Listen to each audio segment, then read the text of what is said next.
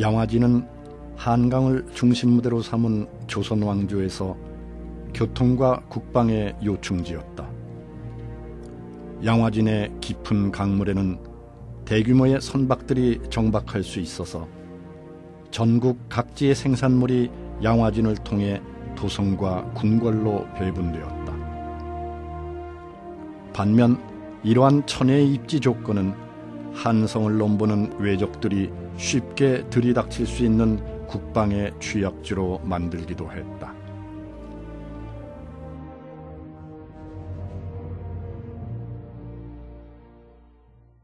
한양을 조선 왕조의 그 수부라고 하잖아요. 수도라고 하는데 수도라는 것은 머리라는 뜻입니다. 그 머리에 이르는 사람의 다른 모든 지체들이 머리에 이르는 그 연결점이 어디냐면 바로 목입니다.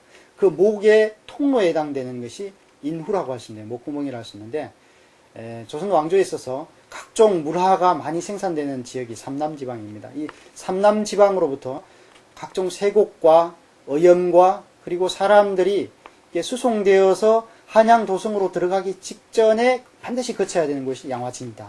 그런 점에서 양화진 조선 왕조의 인후와 같은 중요한 곳이었고 이곳이 교통의 역할뿐만 아니라 관광, 군사, 치안의 역할 여러 가지 점에서 아주 그 중요성이 더해갔던 그런 곳이라고 할 수 있습니다. 구한말 조선과 서구 세력의 물리적 충돌은 주로 바다와 강에서 일어났는데 양화진도 예외가 아니었다. 쇄국 정책을 펼친 대원군은 수많은 조선인 신자들과 프랑스 신부 여러 명을 처형하였다. 중국으로 겨우 탈출한 리델 신부는 프랑스 함대 사령관 로즈에게 이 사실을 알렸고 로즈는 대원군의 천주교 탄압을 응징하고 조선에 남아있던 선교사들을 구한다는 명목으로 출정한다. 프랑스 군함 세척은 1866년 8월에 양화진까지 침범하였고 10월에는 강화도 일부를 점령했으나 한 달 만에 강화도에서 패퇴하였다. 10월 달에 이제 침략을 하게 되는데 어, 그때 이제 강화도를 점령을 하게 되죠. 점령을 하게 되는데 어, 그 전까지만 하더라도 어, 외국 선박들이 한강으로 거슬러 올라오는 그 물길을 그 찾으려고 무진 애를 썼는데 못 찾았어요. 그런데 이 병인양요 때 어, 니델 신부가 이제 통역관으로 참여하고 한국인 신자 세명이 물길 안내인으로 참여를 했었거든요. 바로 이 한국 신자 세명의 도움으로 어, 한강을 거슬러서 서울까지 오는 그런 수로를 찾아내게 돼요. 이 사건으로 대원군의 척화 의지는 훨씬 강해졌다. 그는 서양 오랑캐들에 의해 더럽혀진 한강을 사교들의 피로 씻는다면서 천주교도들에 대한 박해의 고비를 죄었다.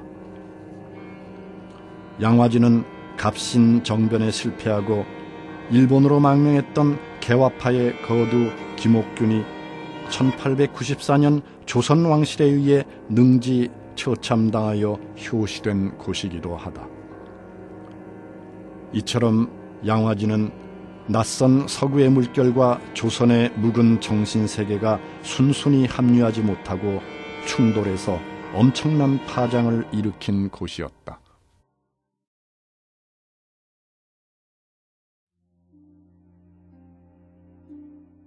시아버지 대원군의 섭정을 종식시키고 고종의 친정 체제를 구축한 민비와 외척들은 쇄국의 빗장을 벗기고 서구 열광들과 국교를 수립하였다. 이러한 지각 변동을 틈타 주로 영어권의 개신교 선교사들이 조선의 복음화를 목표로 제물포에 나타나기 시작했다. 갑신정변 당시 조종의 실력자 민영익을 구사일생으로 살려낸 알렌의 서양 의술 덕택에 선교사들과 왕실 사이에 밀접한 관련이 맺어지고 이는 최초의 서양식 병원인 광해원의 설립으로 이어졌다. 당시 기독교 선교는 불법이었기 때문에 선교사들은 주로 서구의 의료와 교육, 자선 사업을 통해 봉건적인 조선 사회 속으로 들어가려고 하였다. 한편 알렌에 이어서 광해원의 원장이 된 헤로는 전염병에 걸린 환자들을 돌보던 중에 자신도 이질에 걸려 1890년 7월 26일 34세의 짧은 삶을 마감한다.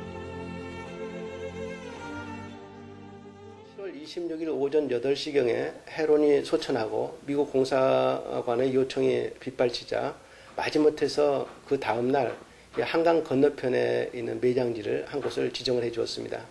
그런데 그곳에 가보니까 전혀 매장지로서는 적당하지 않은 그런 곳이었습니다. 그래서 그곳을 거절하고 다시 매장지를 찾아보도록 했습니다. 만약에 적당한 매장지를 주지 않으면 미국 공사관 경내에다가 어, 묘지를 파서 해론을 그 매장하겠다고 어, 위협을 했습니다. 그리고 실제로 미국 공사관에 붙어 있던 해론의 사유지에다가 임시 묘를 파도록 지시를 했습니다. 그렇지만 당시의 풍습으로는 도성 내에 시신을 매장하는 것은 불법이었고 어, 만약에 묘를 팠다가는 한국인들에게 어떤 봉변을 당할지도 몰랐기 때문에 이것을 맡은 한국인 인부들이 그 묘 파기를 거절했습니다.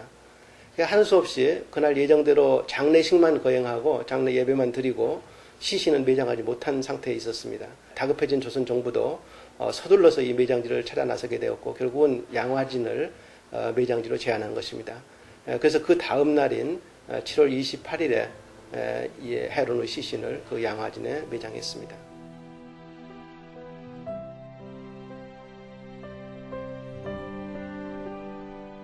이곳에 묻힌 분들 중에는 우리 민족을 위해 자신의 삶을 바쳤던 선교사들과 그 가족들이 있다. 이들은 모국에서 누릴 수 있었던 수많은 권리들을 포기하고 당시 세상에서 가장 덜 알려졌던 나라 코리아의 복음의 빛을 나누기 위해서 헌신했다. 그 헌신은 사랑하는 남편과 아내, 또 어린 자녀들을 먼 이국 땅 이곳 양화진에 묻으면서도 멈추지 않고 이 땅의 백성들을 위해 복음의 씨앗을 계속 뿌리는 것이었다. 복음이 우리나라에 전해질 때 맨 처음 이루어진 것이 성경 말씀을 한글로 그리고 어, 일반 서민들이 사용하는 언어로 번역하는 것이었습니다. 따라서 한국 기독교회가 한국 사회에 끼친 가장 큰 영향 가운데 하나는 한글을 어, 서민의 문자로 어, 정착시킨 것이라고 할 수 있겠습니다. 다시 말하면은 순 한글로 평민들이 사용하는 언어로 성경을 번역했다는 사실입니다. 성경의 번역과 또 성경을 대중들에게 보급하는 과정을 통해서 어, 세종대왕 이후 어, 문자를 만들기는 했지만은 그러나 우리 평민들의 문자로 정착시키지 못한 이 한글을